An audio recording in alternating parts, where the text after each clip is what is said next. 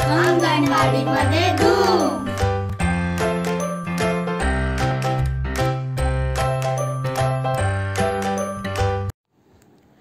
नमस्कार. आपण आठवड्यातून तीन दिवस अंगणवाडीमध्ये मुलांसोबत लहान गटात क्रियाकृती घेणार आहोत. सोमवार बुधवार आणि शुक्रवार. दररोज पंचेचाळीस मिनिटे क्रियाकृती असतील. ज्यामध्ये उपस्थिती पुनरावृत्ती गाणे गोष्ट अंक अक्षरवाचन आणि गृहपाठ असेल. आता आपण मुलांबरोबर आठवड्यातून तीन दिवस कोणकोणत्या क्रियाकृती घेणार आहोत ते जाणून घेऊ. चला जाणून घेऊया सोमवारी करावयाच्या क्रियाकृती.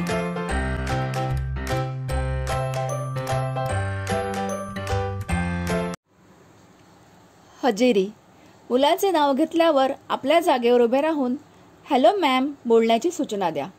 त्यानंतर थाळी आणि चमच्याच्या आवाजावर मुलांना आपल्या जागेवर उड्या मारायला सांगा. जसे आवाज हळू येत असल्यास हळूहळू उड्या मारणे व आवाजाची गती वाढल्यास जोरजोरात उड्या मारणे. यानंतर शुक्रवारी आपण कोणत्या क्रियाकृती केल्या यावर चर्चा करा. यानंतर उपलब्ध साहित्याचा वापर करून मुलांना जोडी लावण्यास शिकवा. यानंतर तहानलेला कावळा ही गोष्ट सांगा. यानंतर डोक्यावर पुस्तक घेऊन मुलांना शरीराचा तोल सांभाळत सरळ रेषेवर चालायला सांगा. नंतर अंकतक्त्याचा वापर करून अंक वाचन करून घ्या. शेवटी मुलांचा गृहपाठ तपासा. बुधवारी करावयाच्या क्रियाकृती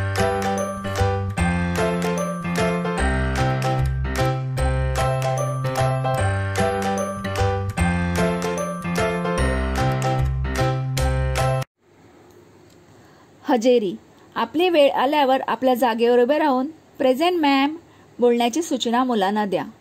यानंतर दीड फुटाचे अंतर ठेवून दोन रेषा काढा.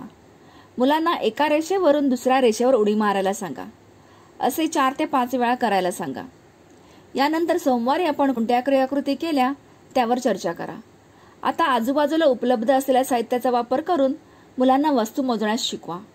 नंतर मामाच्या गावाला जाऊया हे बालगीत मुलांकडून बोलून घ्या. यानंतर मुलांना वर्गात पालन करायच्या नियमांची ओळख करून द्या. जसे चपला कुठे व कशा ठेवायच्या? वर्गात येताना शिक्षिका नमस्ते किंवा गुड मॉर्निंग टीचर बोलायचे हे सांगा. वर्गातील वस्तूंचा वापर करून झाल्यावर वस्तू पुन्हा जागेवर ठेवण्यास सांगा.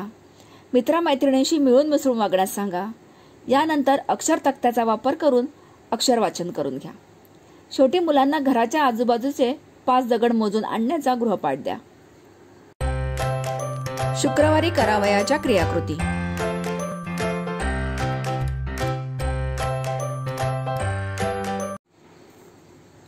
हजेरी. आपली वेळ आल्यावर आपल्या जागेवर उभे राहून नमस्ते टीचर बोलण्याची सूचना मुलांना द्या. यानंतर मुलांना एका जागेवर उभे राहून लंगडी घालायला सांगा. यानंतर बुधवारी आपण कोणत्या क्रियाकृती केल्या त्यावर चर्चा करा. आता आजूबाजूला उपलब्ध साहित्याचा वापर करून मुलांना जड हलके ही संकल्पना शिकवा. नंतर लहान माझी बाहुली हे बालगीत मुलांकडून करून घ्या. आता जुन्या वर्तमानपत्राचा वापर करून कपाट बनवायला शिकवा. यानंतर अंकतक्त्याचा वापर करून अंकांचे वाचन करून घ्या. शेवटी मुलांना दिलेला गृहपाठ तपासा.